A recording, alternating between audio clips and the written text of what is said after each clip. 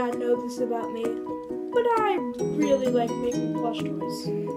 Sometimes I like to take it to the extremes with my plushies. So today I'm going to do a showcase on a plushie that I made.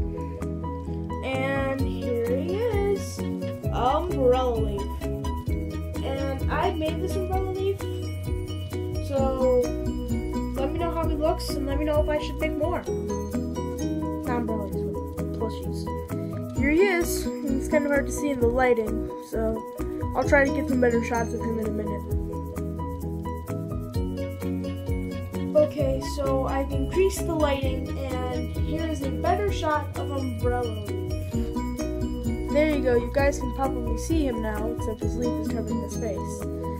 Now, I could have easily just made him like a magnifying glass or something, because if I turn him down, he kind of looks like the shape of it. But yeah, please like this video, it means a lot.